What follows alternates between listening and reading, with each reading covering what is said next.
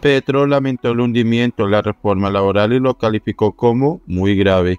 El alto mandatario Gustavo Petro publicó en su cuenta de Twitter un trino luego de que se aplazara el debate por falta de quórum. El proyecto de reforma laboral del gobierno Petro quedó en veremos cuando se levantó la sesión del debate este martes 20 de junio por falta de quórum y el presidente ya lamenta que se hunda el proyecto. El hundimiento de la reforma laboral es muy grave, demuestra que la voluntad de paz y de pacto social no existe en el poder económico. Dueños del capital y de los medios lograron cooptar el Congreso en contra de la dignidad del pueblo trabajador. Trinó el presidente Gustavo Petro.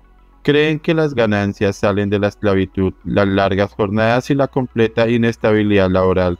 El gobierno del cambio no abandonará los intereses de la trabajadora y el trabajador resaltó el mandatario. Por un lado, algunos expertos indican que, aunque la ley quinta de 1992 es clara en que el proyecto no, que no haya tenido su primer debate ante el cambio de legislatura se hunde, la semana pasada se aprobó el informe positivo de ponencia. Sin embargo, quedó pendiente el articulado por lo cual hay distintas tesis. Por ejemplo, la representante de la Cámara y ponente del proyecto María Fernanda Carrascal aseguró que la reforma continuará con el trámite y pidió al gobierno aclarar si la iniciativa se incluirá en sesiones extraordinarias.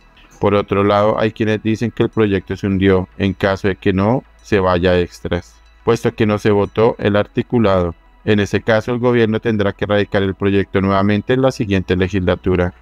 Germán Machado, docente de economía en la Universidad de los Andes, explica que con el panorama en el que no hubo quórum, no hay la menor posibilidad de pasar al proyecto. Sin embargo, este puede presentarse nuevamente en la próxima legislatura. La semana pasada aprobaron el informe de ponencia y esta semana se necesitaba tramitar el articulado. Se contaba con tener quórum hoy y tramitar el debate del articulado. Ya sin quórum no hay la menor posibilidad. El proyecto podría presentarse nuevamente en la próxima legislatura, dijo el docente.